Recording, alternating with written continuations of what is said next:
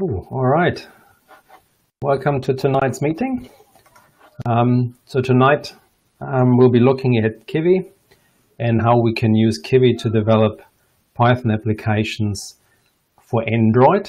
So, I mean, Kivy's uh, mantra is write it basically once and then run it on multiple platforms, not only the, the usual suspects of Linux, Mac, and Windows, but also on Android.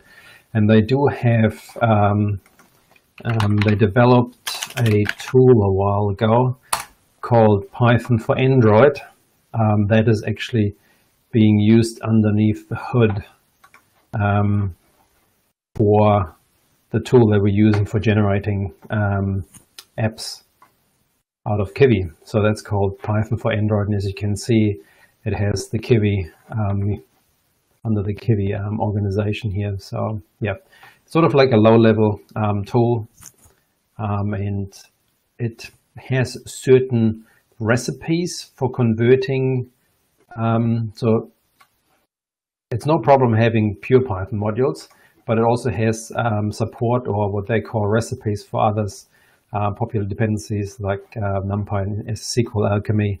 Um, and apparently you can also write your own um, recipes for that. So if you have a particular library that you need, you could then, in theory, if you're probably savvy enough, and convert that as well. All right. So one disadvantage is it takes sometimes a long time because it downloads a lot of stuff. So um, I've run that already in one environment earlier today, and um, it ends up like with over a gig that it actually pulled down. So we'll see. Um, maybe we can go through and uh, run it, and um, while it's downloading it, we can answer questions. but yeah, we'll see. Cool. So first of all, um, since we're developing for um, Android, um, Kivy basically gets converted into um, Java, I believe, or something along those lines. Um, I don't know too much about the the um, underpinnings there, but I'll just um, we'll just we can look into that afterwards. Um, so there's a few libraries that you definitely need installed in order to get that going. I installed that. That's easy enough. and then you can also then install in your home directory a few other tools like test resources, setup tools, and virtual env, um, which I've already done, so I won't do anything about that. So that's all the latest. And I can create basically a virtual environment, kvvenv, um, and then oops, I'll activate that one. I'll just make the font a bit larger so you can actually see something. Okay, right. Now we just need to grab our Kivy packages and the examples itself, since we want to um, try and build a package from the examples. It's done. So we have a look. So we're gonna try out the touch tracer example. So we're just going to have a quick look. There's um, have a look at the main. Oops. Uh, so it uses Kivy. There's some points that it does it uses a float layout. So personally, I don't know too much about Kivy. It's always something I thought I should maybe have a look at. But in the end, I quite often just stick to GTK. um, but yeah, so the interesting thing, I'm not sure about GTK, but the interesting thing about um, the Kivy framework is that it has support for multi-touch something you'd probably want to have if you're on Android, um, having like gestures, um, like pinch zooming in and out and things like that. Okay, so if we run, for instance, that main file, then a screen pops up here uh, with not too much on there. But if I press the left mouse button, um, you can see that it's tracing basically where I've pressed. Um, if I do a right click, then it stays. And left click always disappears. And I can also do a middle mouse button. That's mouse 4, apparently, interesting enough. And cool. Pressing escape, disappears again. so you can see it does a few other things in the background here. So it uses OpenGL for drawing um, using SDL2. Um, has shading in there apparently virtual keyboard not allowed. Yeah, and reads inputs from here. And yeah, so then it's the same thing as the main loop. And yeah, unable to open. Hmm, interesting. Right, so works fine on my Linux box. Um, now, the main thing is really, um, we actually want to try that and turn that into a proper Android application. So we'll just um, copy things around into a new directory. Um,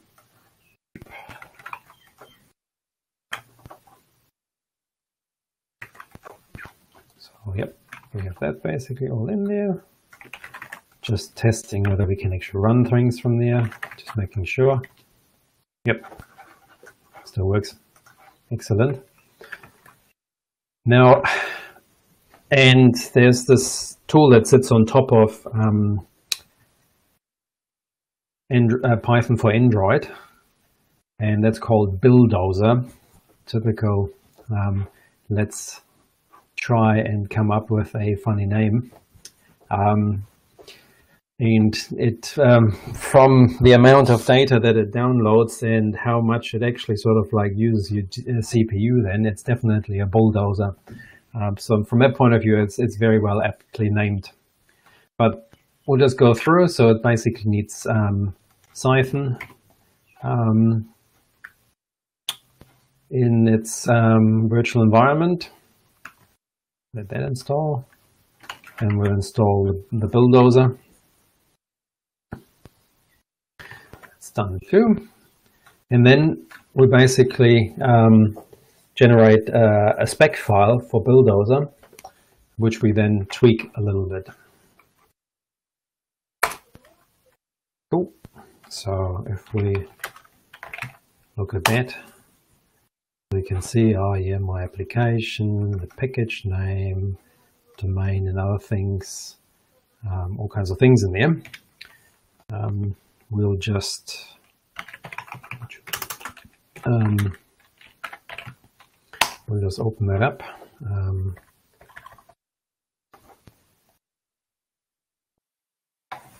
right, so Ian was suggesting to just change sort of like these three um, properties in that file. So title, I'm gonna call it touch tracer and then we package name just use touch tracer and then orientation. Oops.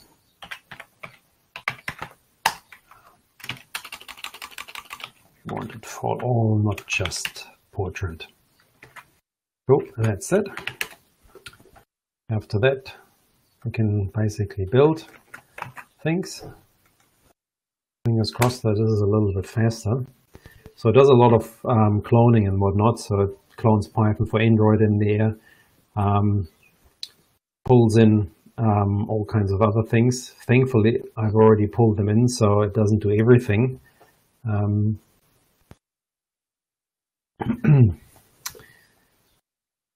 still a few bits to download.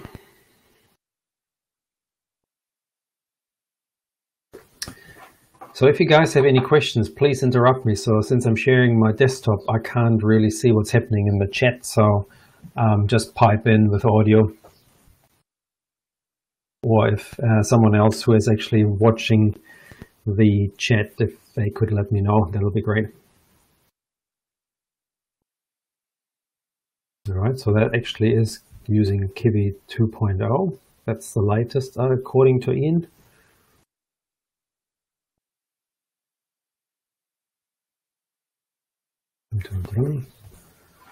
Here you can see building recipes. Um, and it's doing it for ARM. Um, in the meantime, I just have to uninstall the app on my phone here. Yeah, I'll just uh, mention, Peter, that yep. um, I, if you um, if you use Ubuntu, yep. then for example 20.04, then you bring in um, you can install uh, Kivy and you can install Buildozer, but they're sort of down rev. I think they're one point Kivy's at 1.8 or something mm. like that. Mm. So old ones. new version of 2.0. Um, that's mm. why we if we use a virtual environment and pip them, then yeah. Um, yeah. then we get uh, the, the, latest versions of. of yeah. yeah. At least the good thing is so. Um, uh, where was it? So um, it does um, basically create. It's a little bit hard to see. Um, sort of like within that directory touch tracer that we created, it creates a subdirectory Buildozer where it actually downloads all kinds of things. Um, but um, certain other things which are generic between builds, it actually installs under your home directory in the Buildozer directory. So, um, and Android SDK and NDK won't be downloaded each time when you do um, such a project, but it still will basically create quite a few things in there. Yeah, on, on, the system I had, the first time I think it was about 30 minutes to install something, and then the next time it dropped down to about 10. Oh, so, okay, yeah. So, yeah. yeah, in other words, you know, mm. 20 minutes of um, stuff is already installed. Yeah, yeah, still yeah. downloaded, yeah. yeah. But that, that dot Buildozer file that'll be in your created in your um, in the working directory you've got now, yep. it, it it must contain quite a ma- massive amount of it does. files and data. Yeah. It does. I think when I checked, it was uh, 1.4 gigs. So at the moment, we're at 800. Um, I mean, it's all the build files and everything. But if I um, look in my home directory, I have 4.1 gigs already in there. Yeah. So, I mean, okay. Android is definitely chewing through disk space. So that's just the way it is all the various images that you're trying to sort of like build for and whatever your um, I mean API that you're building against um, that's just simply the way it is Yep, and you can also see down here my CPU on a quad core really goes a bit nuts and I can definitely hear the fan I'm not sure whether, whether the microphone is picking up on that as well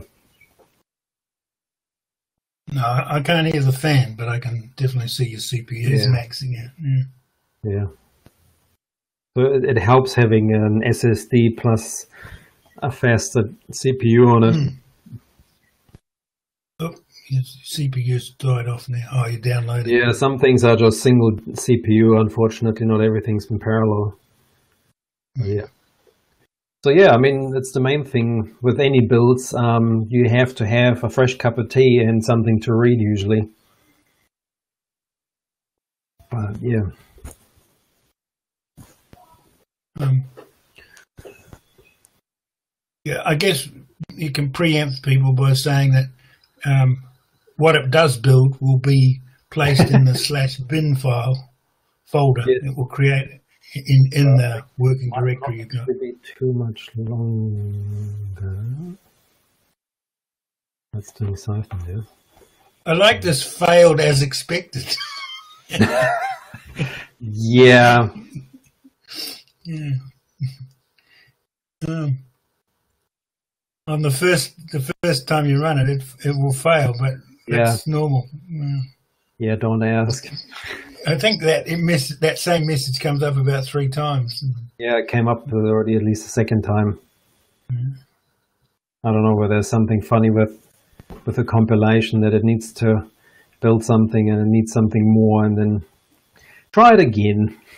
Eventually it will work. Right. I always find funny here with the counts and so many more. And It's sort of like just jumps around, goes up and down all the time. I'm not quite sure what that's about. See, it's using Cython with a capital C. And, Yeah. And that was pipped. So that came off the, the Python Pi Yep. index or Yeah. whatever. It doesn't matter Yeah. whether you use lower or uppercase.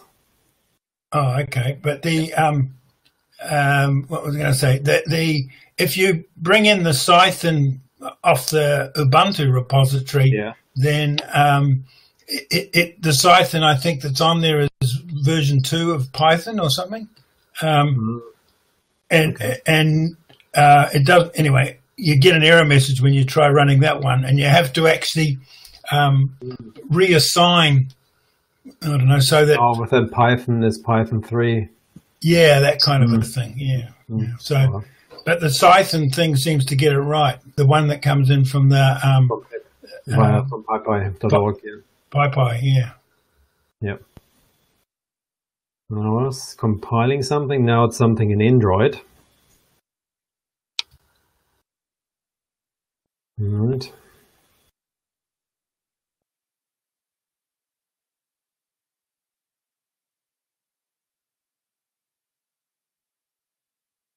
Yeah. It picked hmm. up. See, it's putting that um, ARM EABI V7A. Yep. I think ARM that's the V7. 32 bit. Yep. Yeah. I So I don't that's know. cool. We're done. No, no, it's a little bit slow in this Gradle thing. He's got to load that in. So it's done now. Oh, done okay. that. So Oh, available in the bin directory. So if we, yeah, so we now have an APK. And if we go back on our notes, um, we can now deploy that. Cool. All right, and I'm gonna. Oh. What was it again? Uh, screen copy. Uh, minus M space 1024. Ah, okay. Where's M24? Right. Cool, okay. Sorry. Let's try that again. Right. Cool. So we can now see, oh, there's our touch tracer. And I can now use my finger to draw something, or I can use two fingers, or three fingers, four fingers. Five is going to be tricky now. it's not going to be great what I'm drawing here, but yeah. So yeah, so it definitely works. And then if I um, do rotating, then it also does it. Yeah or I can draw with my mouse as well. Right clicking closes it okay. Cool so that was that. So in other words it actually does work with an example there. Not that we've written our own application um, but with a simple application yeah that did work. So um, Ian will send some through. Um, that was this one, the Kivy, Kivy launcher. So that only came through before the meeting. I didn't have a time chance to look at that properly. Um, okay. was the touch right? Okay. So, does anybody have questions?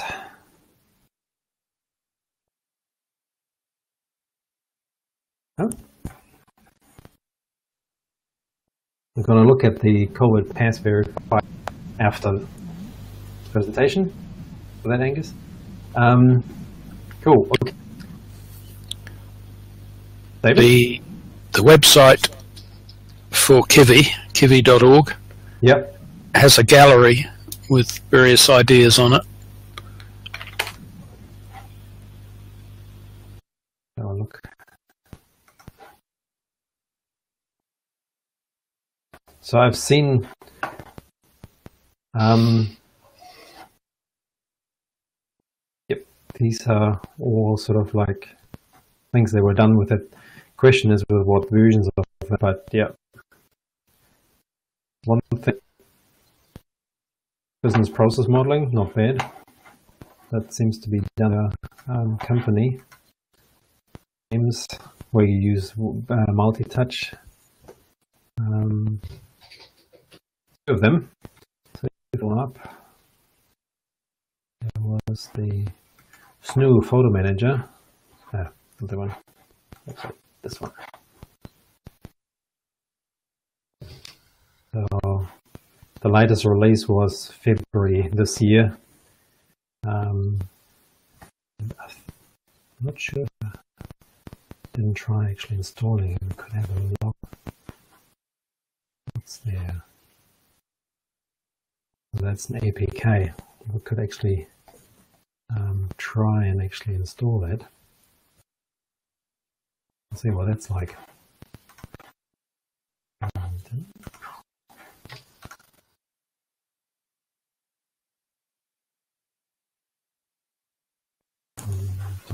Dum, dum.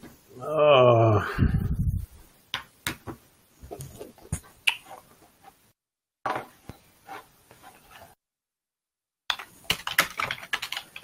Was it ADB deploy? Uh, what do we have here? Hmm.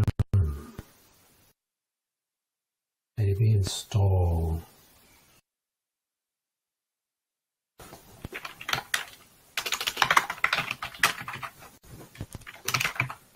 Yeah, that works.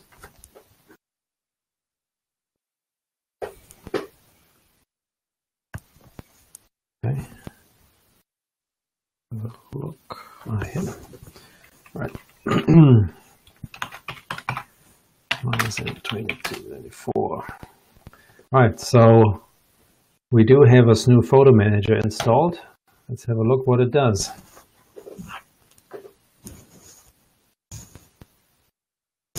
Yes, allow that. Um, okay. All kinds of settings. Close links. Okay. Um,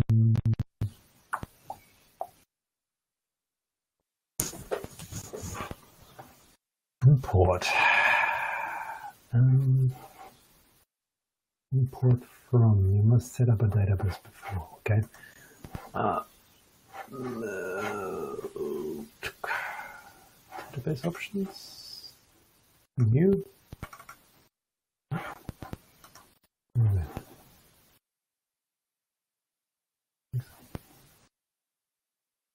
Why can't I create a database? Hmm.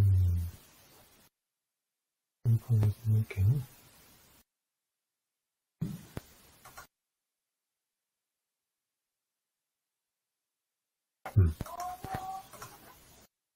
Um, good question.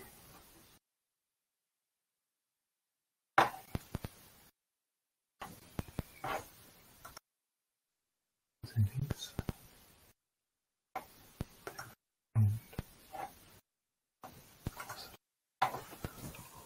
Hmm, let's close it again. Okay. Um, let's go back there.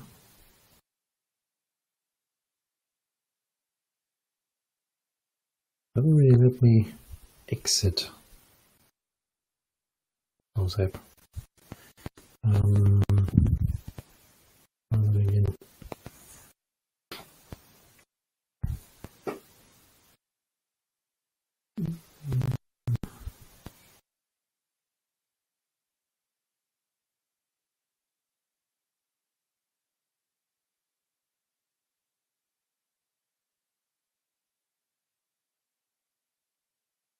Punch rescan deep clean. We don't really have a database yet. From that point of view, I can't really do anything there. Um,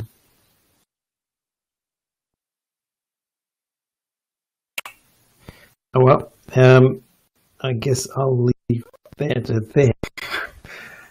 Um, let's try something else. Any suggestions what to go through?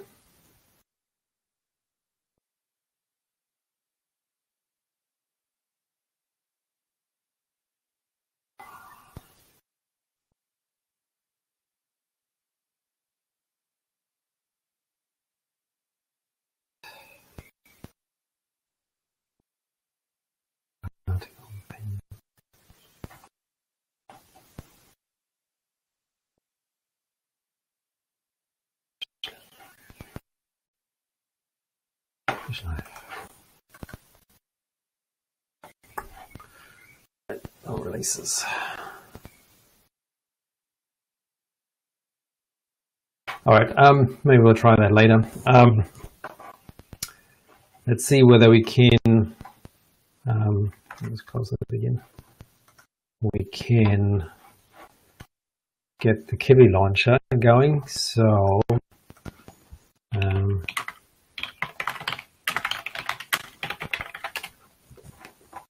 where was it?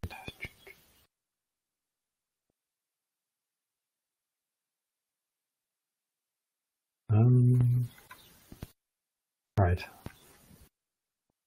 So that Kivy launcher is apparently a project to make it easier to launch Python projects immediately on your phone, so you don't actually have to create apps first. So, um, so we'll see whether we can get going.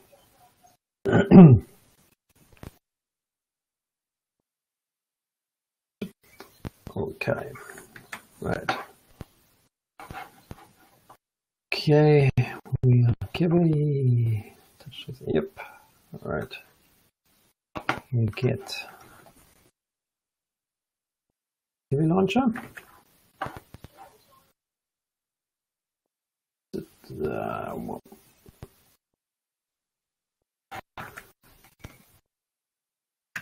go on, the Yep, that's all there. Oh,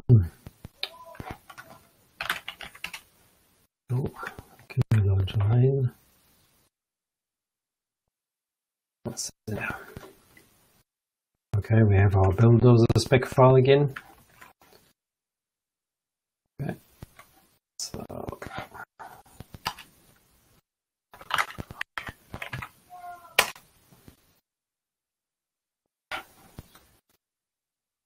Let's have a look there.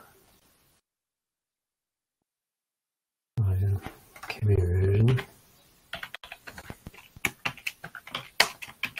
Since we have 2.0, I'm going to use that. Yeah, I, I don't know whether it's essential to change that, but um, it, it seems to make sense to change it. But I, I think it, I think I did Yeah, it's probably just without changing yeah. I think it pulls it in, so um, I mean that at least was the Kivy version it was built against. But I mean we'll see whether it works. So um, that's probably that they developed with, but that's all right. Cool. And then so that was the Python version was already three. Um, Android Arch. That's that. Cool. All right. Th- that was Yep. more just a note or a comment Yeah. to, to show that it's definitely version Mm. three, etc. That's okay. So we'll just do a build. At least it won't have to download as much. But once again, it's cloning sort of like um, Python Android inside that particular um, directory. I wonder for Now, Pete, if you only wish to develop for one particular platform as opposed to producing Yeah. two or three uh, equivalent systems for different platforms, can you actually tell Kivy only to produce one and save a little bit of processing time? Um, I think it's with Android. You actually have to do this APK generation. Um, first, you actually only have to have Kivy dependency in your virtual environment and just runs. So you wouldn't actually have to build anything, and that's as as I know. You can do executable sketches as well, but pretty sure you can just run it as is. Because what I've done earlier when I just did a Python main die, um, when I called basically in that um, environment. So I didn't actually compile anything initially. So when I was when I'm here, the um, um, it's also if if I just run, oops, uh, well, never mind. Um, um, so, uh, Ah. Okay. Nein. Source activate. So, if I just run Python main, then I basically get that. So it's basically just the usual uh, interpreted PyCode, and you don't need to compile anything in that sense. It is quite possible that you can um,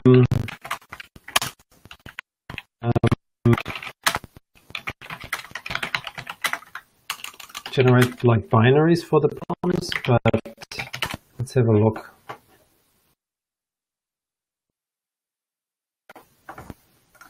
So you run those.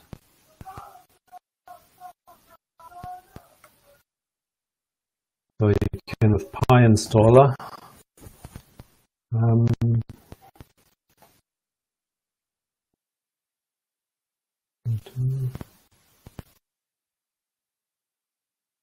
all right, so to be able to add that one. I have to do it. It's not quite sure what really needs to be in there. So it does some things here, um, some dependencies and whatnot that it actually pulls in as well. So,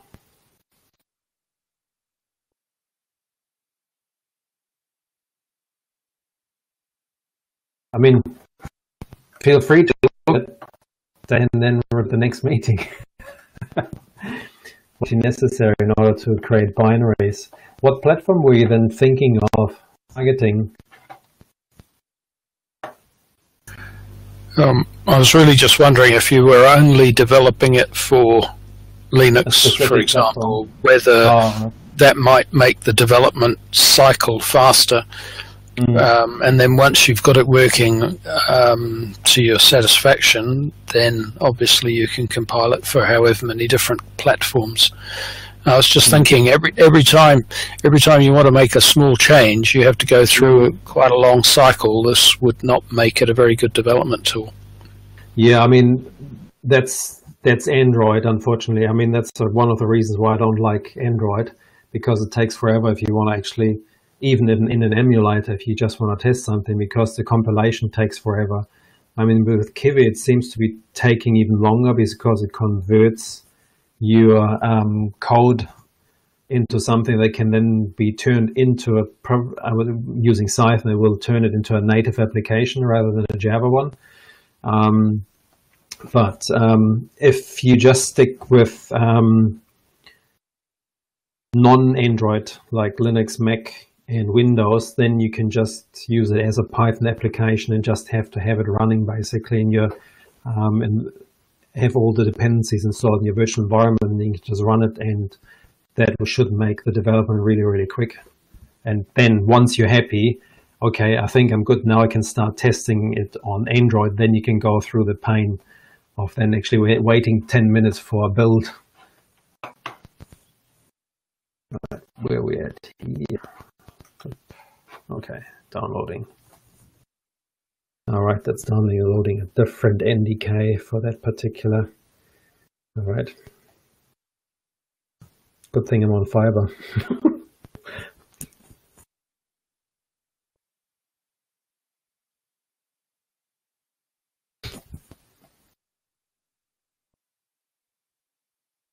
yep, um, PyInstaller.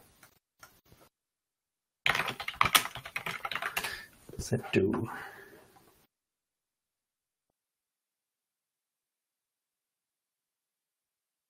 So the PyInstaller allows you to bundle things apparently as an allowance so people wouldn't have to have Python installed.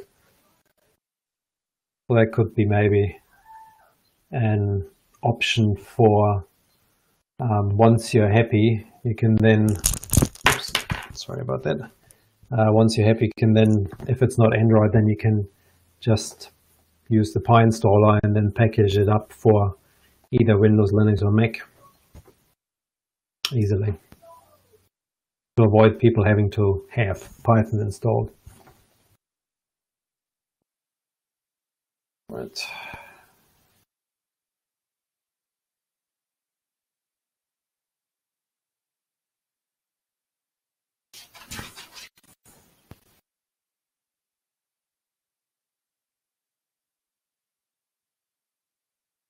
Alright, and we're getting to the Kivy packages.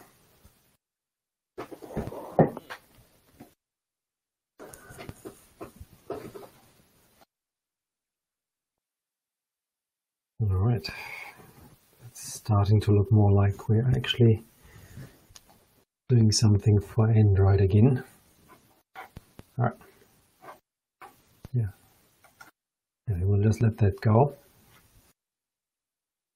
Let's have a further look at um, PyInstaller. Um, hmm,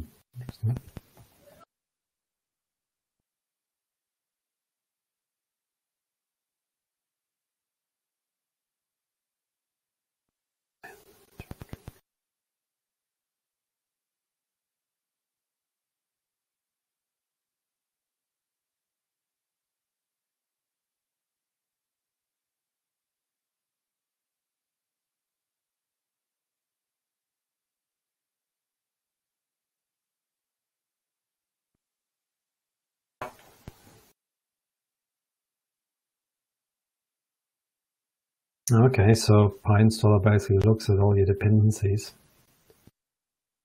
Um, looks at all the import statements. Um, it knows about Qt, WX Python, Tkinter, Django, but it doesn't seem to know GTK. Um,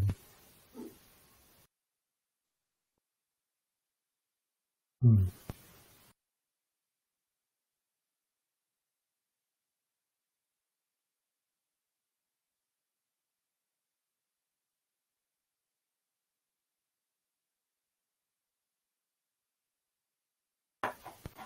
Hmm.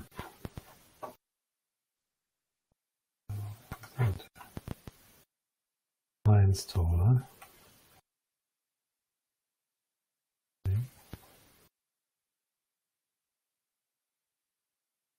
Hmm.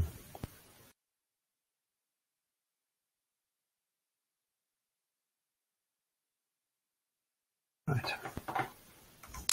Okay. Right, we're building. Once again.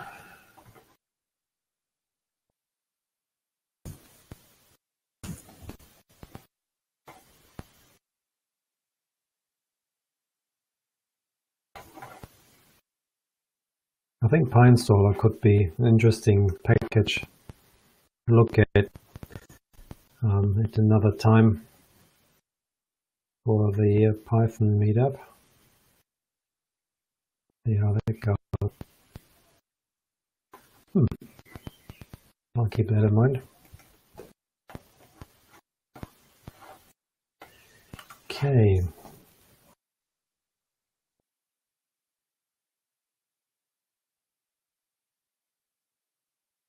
You can also have a look. Okay. Okay, launcher.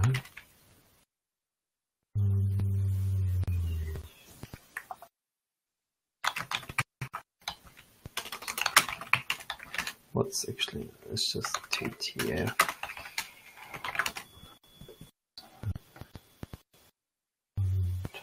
Nine.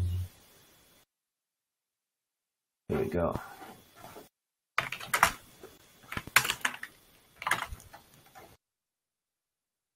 All right.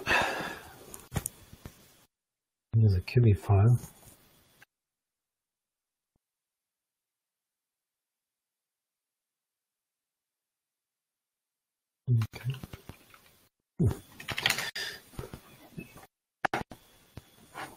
Quite sure how they created the Kivy file.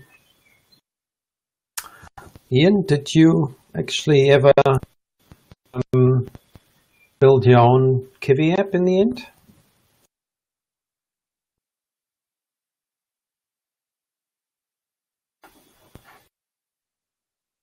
Sorry, microphone was off. Um, Oh. Yeah, I think when I did this about a year and a half ago, I just Mm. sort of made um, just a hello world and um, yeah.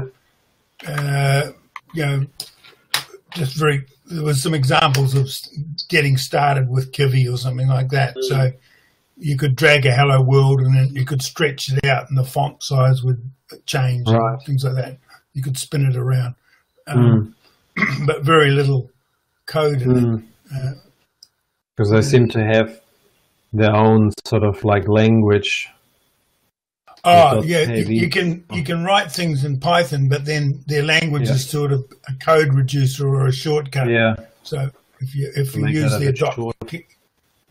KV files, then it, it, it um, cuts down the amount of um, work you have to do. Boilerplate code there that you have to write. Yeah. I mean, it looks a bit like that, but then once again, it's another Another um, language to learn. another language that you need to know. Yeah. but I mean, it seems, yeah, looks a little bit like YAML. Is it kind of layout and stuff like that? Mm. It's like basically with the nesting and stuff, and then special. Layout and coloring and and Yeah. and um, tech headers, you know. A little bit of YAML, a little bit of XML, and a little bit of CSS. Yeah, it's all nicely mixed together. like here, yeah. And a little bit of code. That's an interesting one.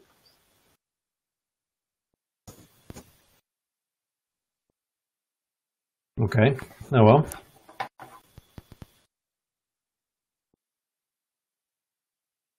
Right, that's still building. I think that's at least getting somewhere now.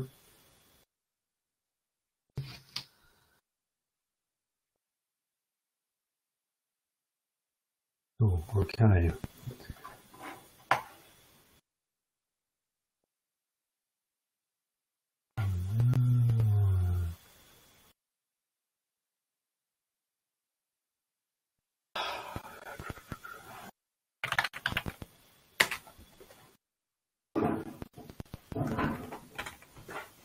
Let's deploy that.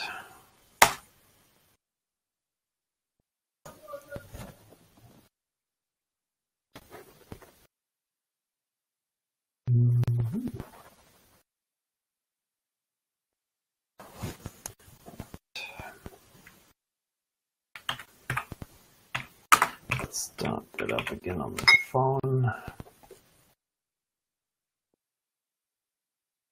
So we have a Kivy launcher now there. Allow. What's it? So, have you got an SD card in your? Yeah. So the little message is Um, saying, There should be store applications in one of the following directories. Yeah, so Just downloading something, no, no, you need to um, copy things over. yeah use your file manager and just um, create a, a Kiv- in your SD card create a Kivy file, Kivy Right. folder. Yep. Just in top level directory, Uh, lowercase. is that in your SD card? Yeah. Okay. Oh.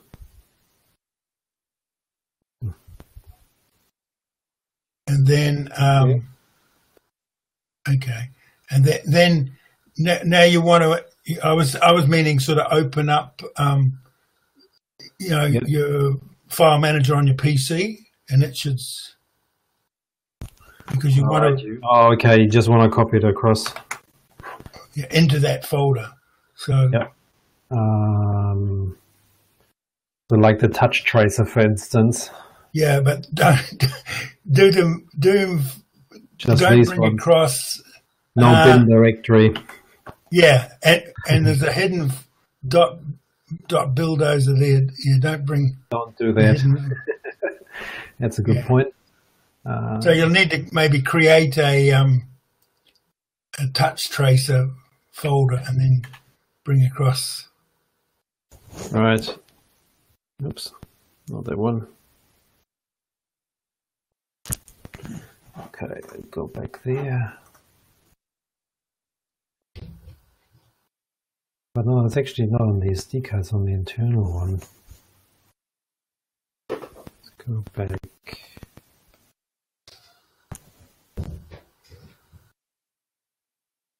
That's actually on the internal, not on the external.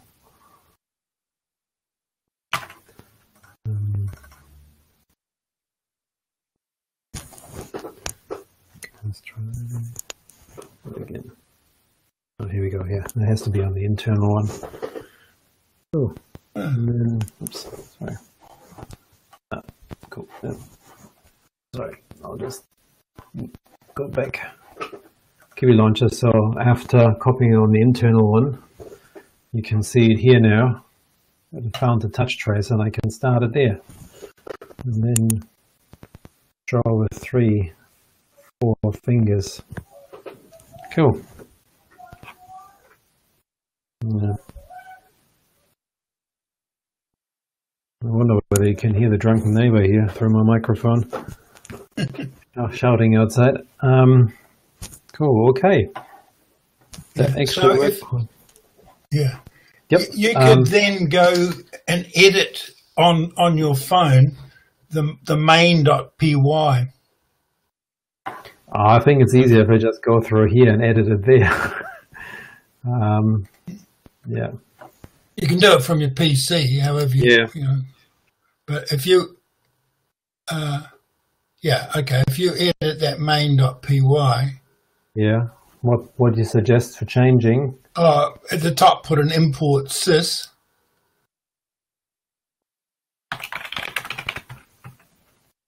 And down there was like this label text here.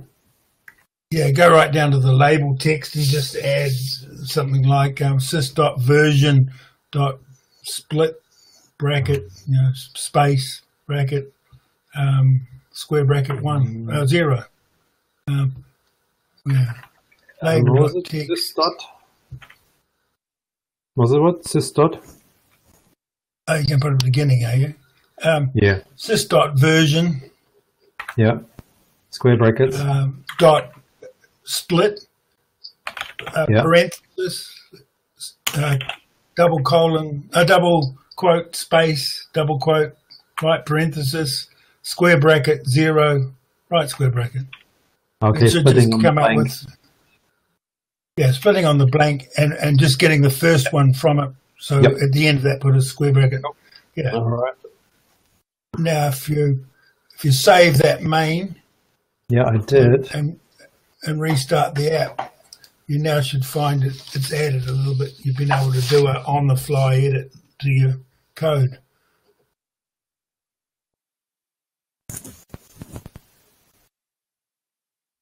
So yeah, three eight nine. Cool. That's the Python version now. Oh, okay. So, David, that's probably if you want to be a little bit faster for the testing something, that's probably the best way to do, and only when you're really deploying it um, as a final APK file that you actually go through the buildozer process, or if you have nightly builds, then you can probably also go through that. Mm, that's a that's a great relief. Mm. Yeah, definitely. you don't want to wait ten minutes each time to find out that you had either a typo or some other problem.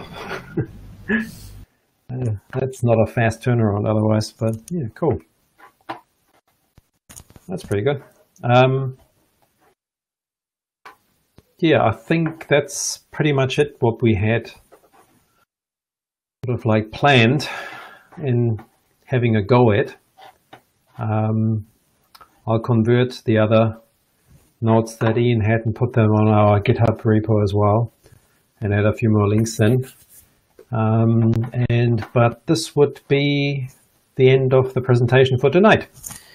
Um, we can still have a bit of a chit chat afterwards um, about other, other things, but um, before I stop, any questions?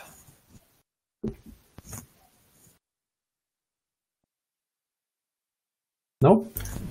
So Ian is the man who's been using it for some time. Um, what have you used it for, Ian? No, I I just experimented with this about a year and a half ago, and then I, I, I just recently saw that version two was out, so I thought, oh well, there might be some bug fixes and things, so I reinstalled version two, but that meant a, a slightly different install procedure because I had to use a virtual environment and things. So um, I haven't really got past what you you've just seen. I've worked out how to install it, and then I found that um, uh, launcher, which allowed you to be able to um, sort of do on the fly changes. So I thought I'd give that a try. Um, the this um, launcher, just looking at the GitHub uh, posting, it, it seems like it it, it um, it may not be a, a, a very well supported project. So um, I don't I don't know how stable it is and things like that. Mm. Yeah, I mean that will be interesting to determine whether more complex applications can be handled by that as well. I mean, if um, like with the um, Python uh, for Android, where it converts certain libraries and whatnot, where it's actually aware of like NumPy and so on, to properly convert them into native libraries. I mean, there's quite a bit of involved. But I guess if you have pure Python um, um, applications, then it won't be a problem. Um, they will definitely work then. And I mean, it was, I mean, this is an old S7, um, so that was speedy enough at least. And there was no real lag or anything and behaved quite well. So I was actually impressed by that. Ooh. All right. In that case, I'm going to stop the recording. Thank you, guys.